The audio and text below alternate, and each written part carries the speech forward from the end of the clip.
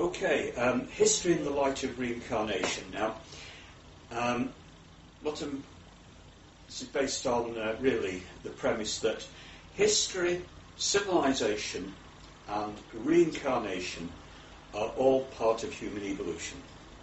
Uh, part of what? Human evolution.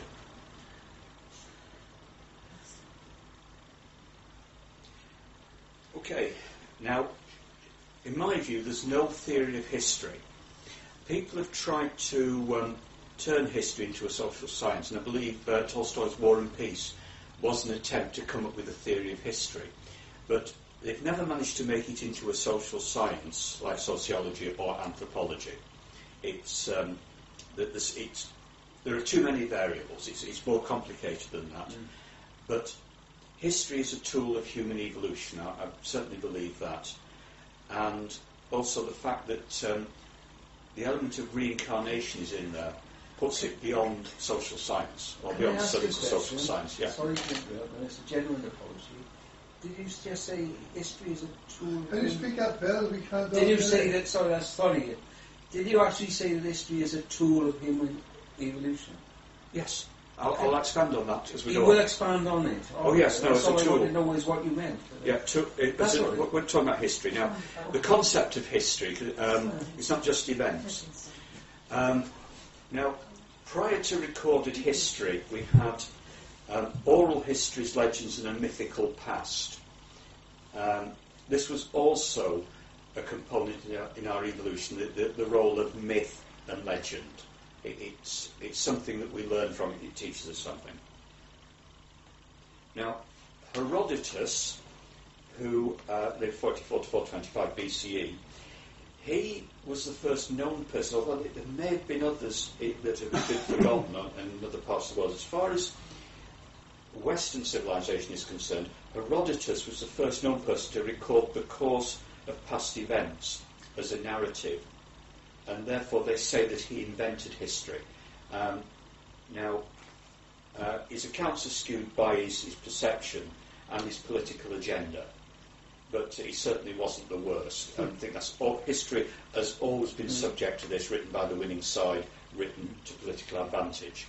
Um, and also, I've said, I've heard that this is the same with the Bible. The Bible was written, rewritten in 400 BC to show that in every instance God came out on top. So the, even the, the, Bible uh, is, is not beyond this. Um, now, although there's distortions, you can make certain observations about history. Um, firstly, history repeats itself in the same in the sense that the same situations come round again and again. And um, who's um, seen or heard on the radio this sceptred isle, Winston Churchill's History of Britain? Ah, someone has, but you've seen it or heard it on, the radio. No. Um, the number of times the same paradigms come round again uh, in, in, British history. In fact, um, there is a theme going, spanning several hundred years that I've noticed. If you go back to the Magna Carta, the barons uh, made King John sign a charter, uh, but they weren't trying to overthrow him. They weren't trying to overthrow the government. They just wanted a better deal.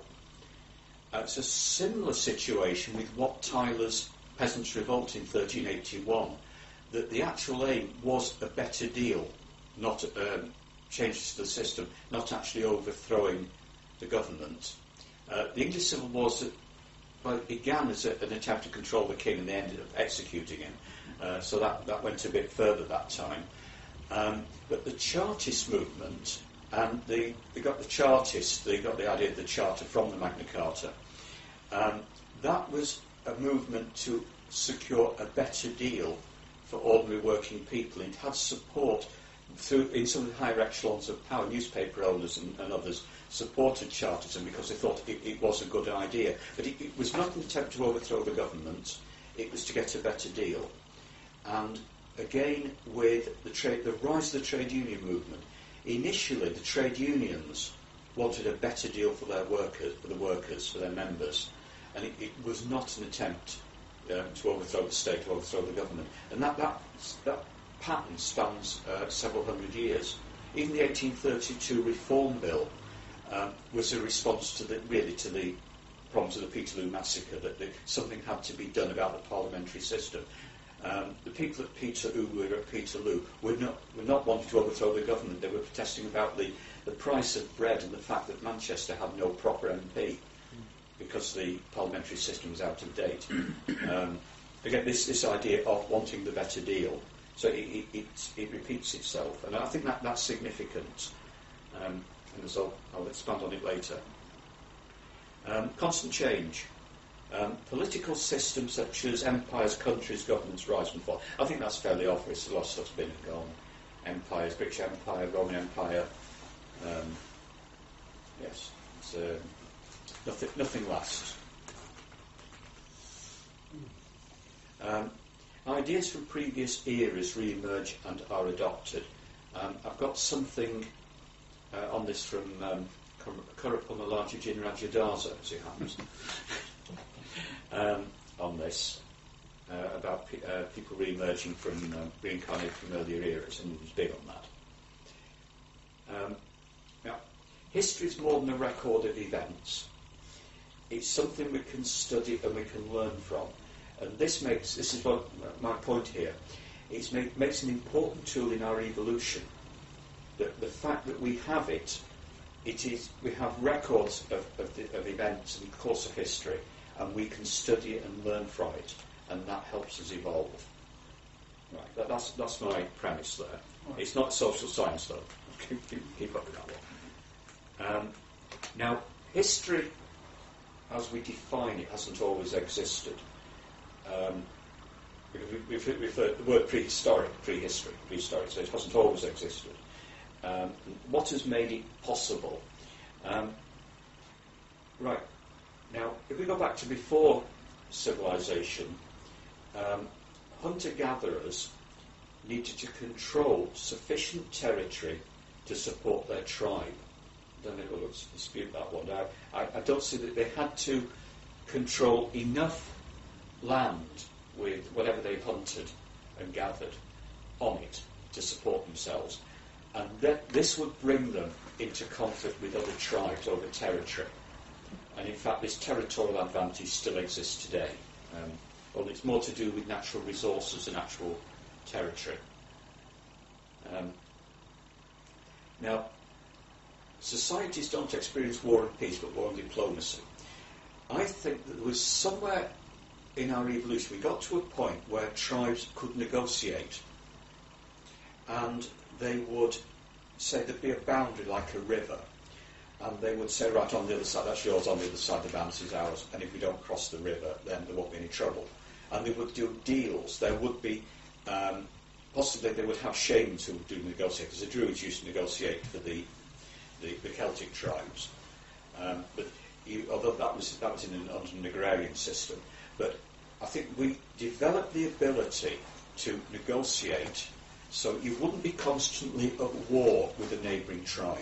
You would have an agreement, some sort of truce, and there'd be a boundary or, or whatever. There'd be some agreement, and you wouldn't. And once you've got to the level where you can broker an agreement, you've got cooperation. So you've got war and diplomacy. Unfortunately, when diplomacy breaks down, you go back to war. When you've exhausted war, you go over to diplomacy. The um, person who came up with this theory of war and diplomacy was Karl von Clausewitz, a Prussian army officer, who said that the like each war and diplomacy are an ancillary of each other. There's, there's no such thing as war and peace. Um, but that, that, that ability to cooperate, I think, is, was essential in our evolution. Um, that we, co- we, it's not all war, we can, we can cooperate. Now, this, this cooperation, plus the agrarian revolution, now we, we invented farming, or they, they invented farming on the, the Fertile Crescent about um, 16,000 years ago. Um, it took 5,000 years for, the, for agriculture to get from Iraq to here, I believe, at least 5,000 years. Uh, so it didn't catch on everywhere straight away. Um, now, that, the rise of civilization then made history possible, and history as we understand it, um, well, learning is passed down the generations. The events have happened, events can be studied and learned from, and also the information can be disseminated around the world. I mean, we live in the information age now, but even um, in the Roman times, learning would be transferred around the world, and there was there was contact between, say, uh, the the Roman Empire and possibly areas outside it. People travelled, um, and so that the information would be passed around the world. Um, again, part of our evolution, is a sort of um, civilization forming part of our evolution. Now, and this is the last time I'm going to put his full name up, Curuppumullage Jinarajadasa, um, postulated. Um, nations have a purpose. A nation uh, provides a framework in which man can evolve. Lessons can be learned and can, can be worked through. It is a framework, and it's it's beyond, I think, the original tribal society, which normally interacts on a, at a very limited, enclosed level. Um, a nation um, can be a powerhouse of ideas and progress, or it can go the other way. We take the, the um, comparison of Athens and Sparta, two completely different outfits uh, operating more or less side by side. Do you mean a state when you say a nation or? Well, the, we, we've got the concept now of the nation state, Hmm. but um, you can have an, um, within Britain, we have several nations uh, who, So you're talking about a people? a people, yeah. Yeah, Um, in this proper sense. that's right, that some countries, I mean, the Swiss, uh, the modern Swiss, are um, they're, they're four actual nations within one country. Mm. So you could say that they have a national identity as Switzerland, but also they have their identities within Switzerland, and even their own canton will have an identity. Just as Cornwall and Wales and Scotland have identities within mainland Britain. Um, and in many ways, some people regard the north of England as a separate entity from the south. Uh, that, that's, that's, that's a questionable one. Um, and um, yeah, uh, I suppose you've got countries used to have countries like Austria-Hungary that were actually a country, but they, there was like 13, or was it 18? There's quite a lot of ethnicities within one country. Um, but um, the nation, the idea of the organised national entity and the organised state, it all has a purpose. And it's part of our evolution that we we came from tribal societies Yeah. to nations and states. So the nation, the nation state, which in some ways I think is in decline. The the, uh, the nation state probably peaked around the Elizabethan times. And I think it's been in decline for several hundred years, but it, it is still there. Um, um, different nations teach humanity different things, and there's new nations come up, which is Australia, New Zealand, say, as examples, and uh, some nations disappear. Um, and I've given here Prussia and Pictland. Uh, you won't find them on the map now. Um, the other incident mentioned, I mentioned Switzerland, um, the um, Helvetii. Um, when I did Latin at school, they were translated as the Swiss. I didn't know this, but apparently they were a Celtic tribe who seemed to have disappeared from history. They weren't the modern Swiss. So, um, yeah, they're a group that's, that's vanished. And there must be many um, over the last few thousand years of uh, groups uh, that regard themselves as national entities, which, which have either merged with others or just disappeared, you know, into, in, into history, just as the Picts have. We've got quite a few in this country. We've got Mercia and Oh, where, sorry? uh, Mercia. Yes, that the Anglo-Saxon kingdoms would have regarded themselves as separate countries at one time. Yeah, Separate, yeah. that's why it took us, it took us centuries to get to united England. Yes.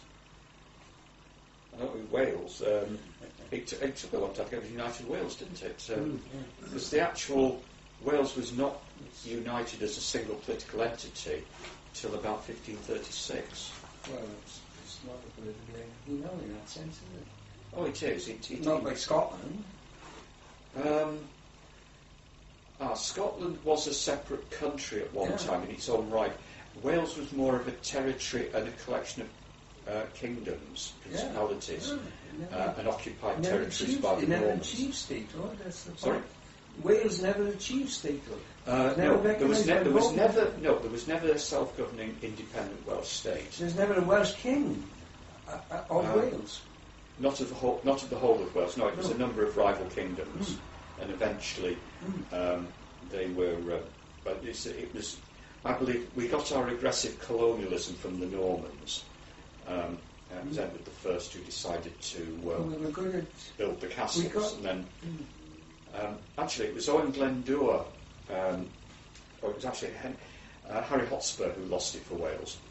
Uh, the Battle of Shrewsbury, which I think is 14-2, um, had Harry Hotspur won, claimed the throne and the name his father, uh, Henry Percy Senior, um, Wales, in return, or Glendower, in return for his cooperation and support for Harry Hotspur, would have got an independent self-governing Welsh state which included the Wirral.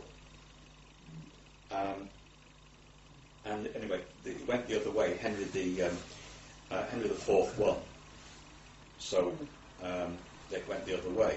But had Harry Hotspur won, there would have been a separate, independent Welsh state, Yeah. and that that, that would have changed history. I That think. would have- Um, but that, that, it didn't happen.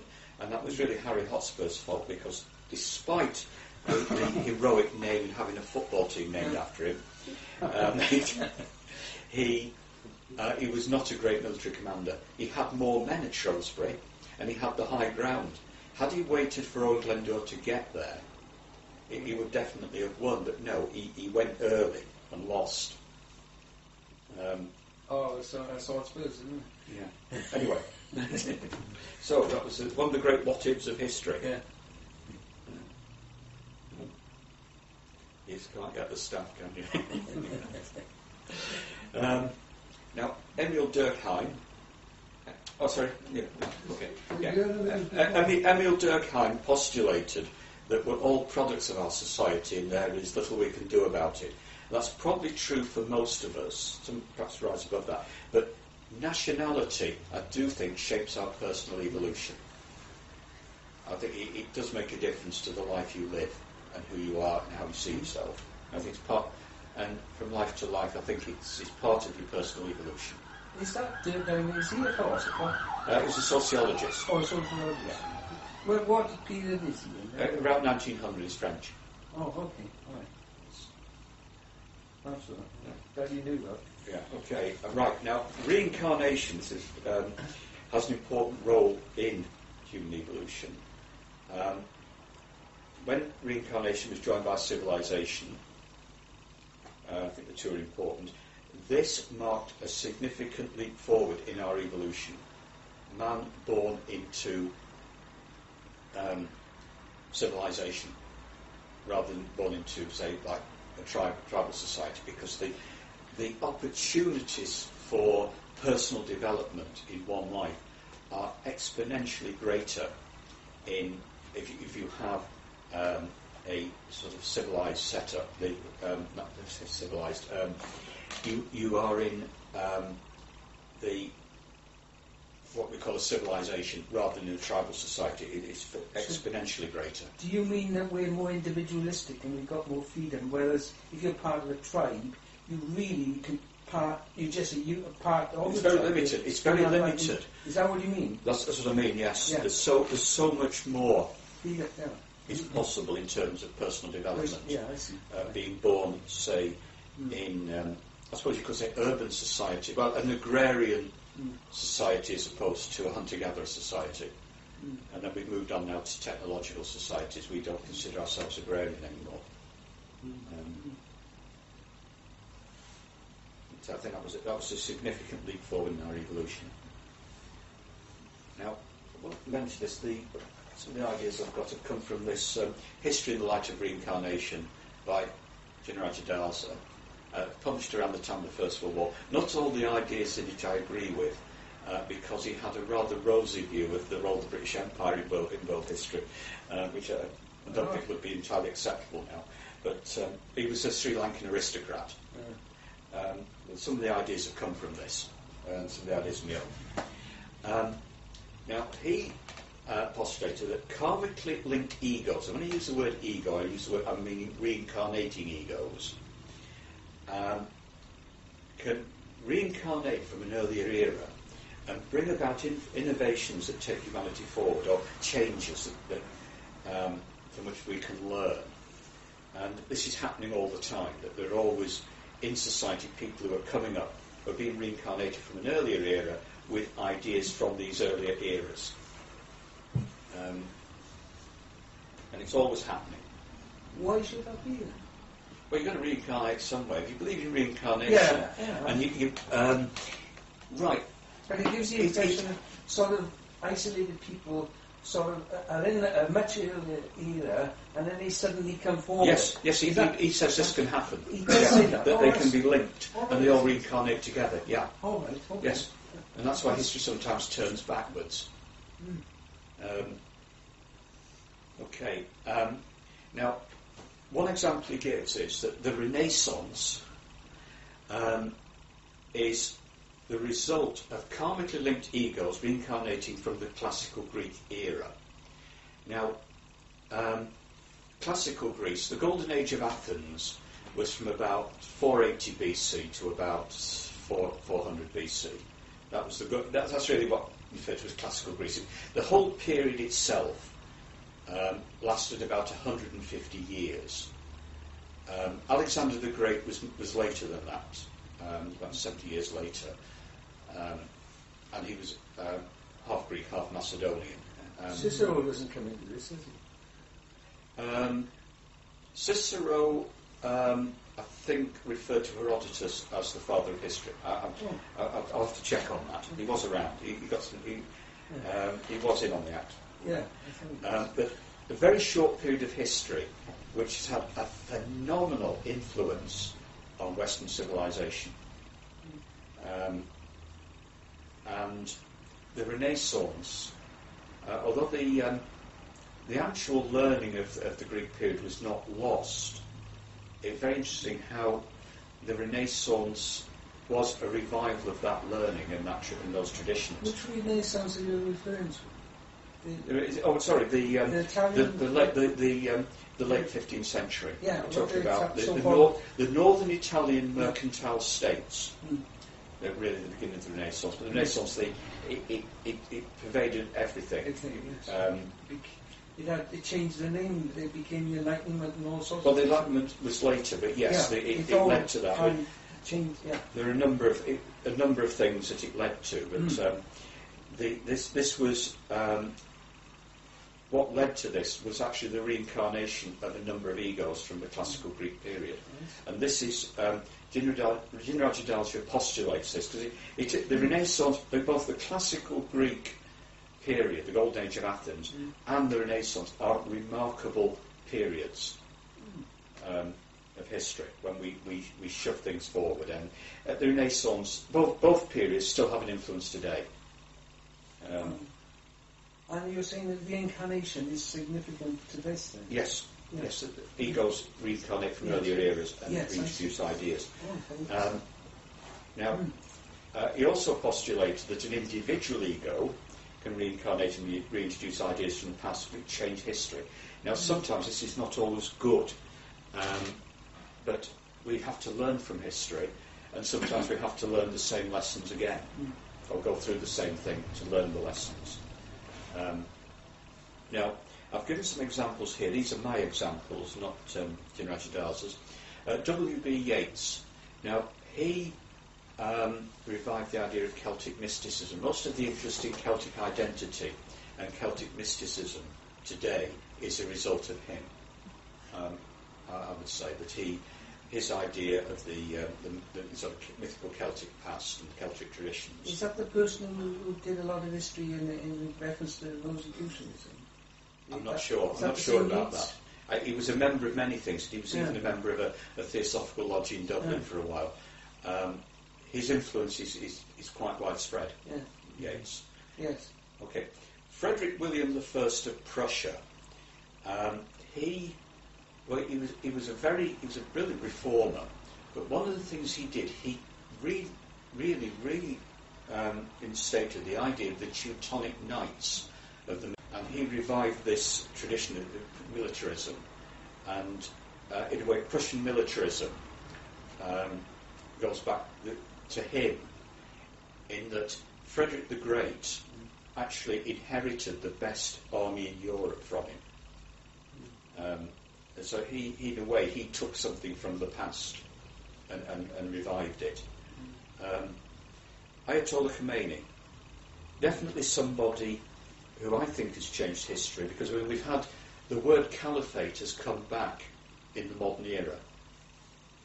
Um, I mean, the last caliphate really was the Ottoman Empire, they say, but the word caliphate really goes back to the, the, the golden age of Islam, which is so, uh, oh, a thousand years ago. Um, and he revived the, these ideas, um, revived the thinking. Um, Cardinal Richelieu. Now, um, Richelieu, he um, took um, a number of classical Greek traditions, like the classical Greek theatre, and reintroduced it into French society because Moliere's plays are based on classic, the classical Greek style where everything takes place in a circle and uh, all information is brought um, to the, this circle. Um, and he saw that as a stabilising influence on society. Also, his centralised government, he went back to an earlier form of, of monarchy, which really would be more, more you know, the king was an absolute ruler, like in the days of, of Charlemagne, the Holy Roman Empire. So he, he took ideas from the past. Um, and finally, General Franco. Um,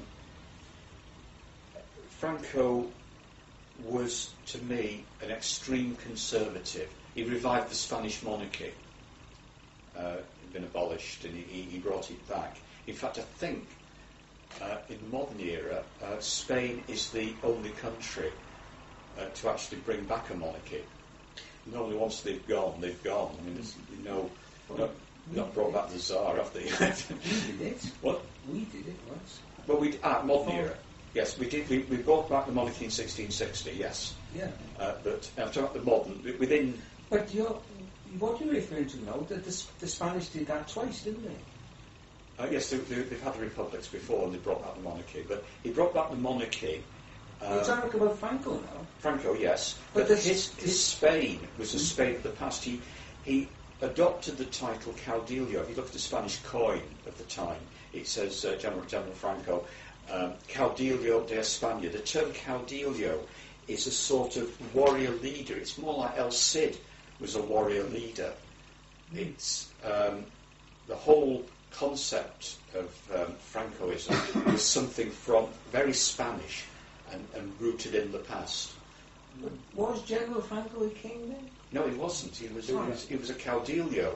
He, he wasn't a dictator. He was a caudillo. He- But everyone, most people assume he was, a, to, all- to all practical purposes, he was a dictator, and he was an Axis leader left over from the war who hadn't been deposed. He got away with it because he Mm. stayed out of the war. But um, within Spain, his um, his regime was rooted in the past. But his, his thing was part of it. There were a group of countries in Europe, approximately four, that were, that were, in this, were regarded as fascist, fascist states. Um, he, he- he's a uh, part no. of that, isn't he? Well, He's one of the four. He was well. Germany- Firstly, he was never a leader of a fascist movement. Ooh. Hitler and Mussolini were. Hitler and Mussolini were political leaders of fascist movements. Yeah. Franco was a military dictator. There wasn't a the? Nazi party in Spain led by José Antonio Primo de Rivera, and it was incorporated in the Spanish system. It, it never really ran the country. Franco ran the country. He, I don't. He, he, okay, he was regarded as, as being aligned to the, the Axis powers, Mm. but he was a hyper-conservative. Hmm. But most historians will tell you he was one of the four fascist states, doesn't he? That Spain was one of the four. Well, it was regarded as fascist because of the Yeah. time it existed, but Franco's style of government uh, was he was the, the last in a long line of Spanish dictators that go back centuries. ah. Well, I think there, have been several um, um, Spanish dictators who were actually worse than Franco. he was on the average. Yeah. Um, no, Franco to me was, was a dictator, military ruler in the Spanish tradition, and he just happened to be going at the same time as Hitler and Mussolini. yeah. I think there are some so-called professional historians who do say exactly what you've said. Thank you, too kind. Yeah. glad, glad to be of assistance. Okay. You're on the right track. Yeah. um, okay, that, now I've got something that they ever finished with this one. Here's an idea for consideration. Can the belief in the coming of a Messiah or charismatic leader actually bring about the incarnation of such a figure? Good question. It's an interesting one. Uh, anyone want to talk about that one? This is the last slide. This is this winds it up. Where does the belief come from? The belief. Well, um, If it isn't an idea that something's coming. That, that's right. Somebody has to come up with the idea that there will be, say, a world teacher, a Messiah. Um, I mean, with Krishnamurti, um, he was believed to be the new world teacher, so they set him up as the new world teacher. And they gave him 12 disciples. I don't know where they got that from, but they gave him 12 disciples. And it was, he knew that was going to I mean, at the time, you, you could see that's going to be a recipe for disaster. Because he, um, he grew up and eventually he had, it took some courage really and he says no I'm not the Messiah uh, and he, he cleared off um, But um, it's problematic that question with the word Messiah because take the classical example of the Messiah, which is the one we all know about in this room. yeah He was that. I mean, the, what did the, the Jews have in mind? Because they had a mess, messianic Well, movement, and that was a sort of political thing, wasn't it? It wasn't a, a world teacher as such, was it? no no it was a, it was a Jewish charismatic it was it was really a their Messiah was more of a charismatic nationalist leader Mm, Yeah. uh, and they thought that Jesus was him and he, he, Who he thought? Who were they? the Who Jew, some Jews thought it was but Yeah. he, he, wa- he wasn't he didn't fulfill the prophecies but if you take the Old Testament they say that um, Jesus actually fulfilled a thousand prophecies in the Old Testament I've Who they? st- Who say that? uh, well um, a number of religious groups now no Jehovah's Witnesses say this Ah, um, that they're yeah. very good historians. Oh yeah, they are very good. But Yeah. the, the fact it, it, it, they're claiming this, and there may be something in it that um, No, Christ fulfilled a number of prophecies, and did these prophecies help to bring about this incoming? Yeah. Well, there is. There is a, a, a there is a thing, a concept called self-fulfilling prophecy. oh yeah, that's, that's right. Yes. You know, but, yeah. So, to what extent uh, expectations influence uh, reincarnating egos? Because it can be a dangerous thing. So if people believe, you know, Well- we're, on the brink of destruction, then, then quite possibly. Well, you say this about bank failures in America in the, in the 20s and 30s, that once somebody uh, once they started thinking a bank was dodgy, it would fail because people believed it, it was dodgy, even if it was sound. Everyone wants the money on the same day, and the bank would collapse. Mm. Um,